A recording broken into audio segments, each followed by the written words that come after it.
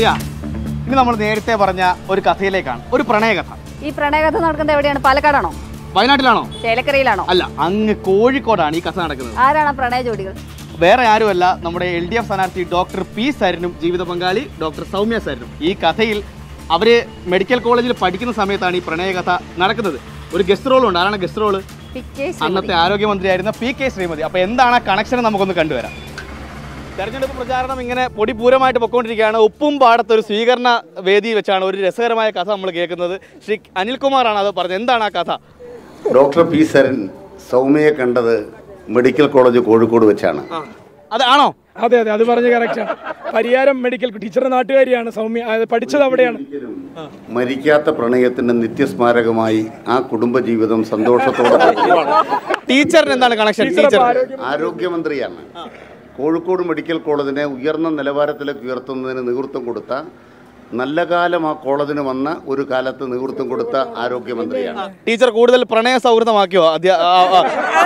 അങ്ങനെയാണോ ഉദ്ദേശിച്ചത് പ്രണയ സൗഹൃദമാക്കിയെന്ന് മാത്രമല്ല ആ പ്രണയത്തിന്റെ മഹാഗോപുരങ്ങൾ തീർത്ത ആ ആ ഉജ്ജ്വലമായ ജീവിതത്തിന് ശേഷം അതേ പ്രണയം ഒരിക്കലും മരിക്കാത്ത പ്രണയത്തിന്റെ നിത്യ വസന്തവുമായിട്ടാണ് സൗമ്യ അവർ സരിൻ കുടുംബജീവിതം മുന്നോട്ട് പോകുന്നത്. ആ പ്രണയത്തിന്റെ ഒരു പകുതി കവർന്നെടുത്താണ് പാലക്കാട്ടെ ജനങ്ങൾ. ഒരു പകുതി.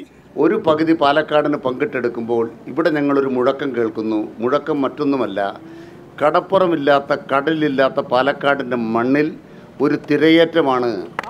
ഡോക്ടർ പി സരിന്റെ തിരയേറ്റമാണ്. സൗമ്യ നാളേക്കാണ് ടിക്കറ്റ് ബുക്ക് ചെയ്തിരിക്കുന്നത്. അഞ്ച് ദിവസത്തെ ലീവേ ഉള്ളൂ.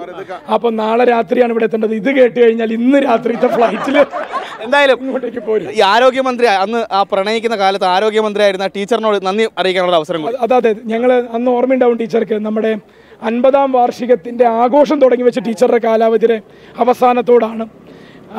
തുടക്കത്തിലും തുടക്കത്തിലാണ് അവസാനത്തോടല്ല തുടക്കത്തിലാണ്. അപ്പോൾ ടീച്ചർ അന്ന് അന്ന് അവിടെ മാസത്തിൽ രണ്ടോ മൂന്നോ വട്ടം വരുമായിരുന്നു. റൂറൽ പോസ്റ്റിംഗ് തുടങ്ങിയത് teacher മന്ത്രിയായിരിക്കുമ്പോഴാണ് yes M B B S കഴിഞ്ഞ ഉടനെ പോസ്റ്റിംഗ് മുഴുവൻ ഡോക്ടർമാരെ. ഡോക്ടർമാരുണ്ടായിരുന്നില്ലല്ലോ. അന്ന് ആദ്യം ഇവരെ പോലുള്ള കുട്ടികളെയാണ്. അന്ന് ടീച്ചർ ഇവരെ ശ്രദ്ധിച്ചിട്ടുണ്ട് ഈ രണ്ട് കമിതാക്കളെ. അല്ല ഇവരൊക്കെ അല്ല ഞാൻ അങ്ങനെ ശ്രദ്ധിച്ചിട്ടില്ല. പക്ഷെ പിന്നീട് എനിക്ക് ഫേസ്ബുക്കിലൂടെ സൗമ്യയും സരിനെയും എനിക്കറിയാം. പ്രചാരണ തിരക്കുകൾക്കിടെ ഒരു പ്രണയ കഥ കൂടി ഇവിടെ അതിന് അവരുടെ പഴയകാല ഓർമ്മകളിലേക്കും കൂടി കടന്നു പോവുകയാണ് അത് നാടെങ്ങും പാട്ടായിരിക്കുകയാണ് ആ പ്രണയകഥ ക്യാമറമാൻ രാകേഷ് തിരുമലയ്ക്കൊപ്പം ആദിത്യനാമനക്കോട്ടൻ ഏഷ്യാനെറ്റ് ന്യൂസ് പാലക്കാട്.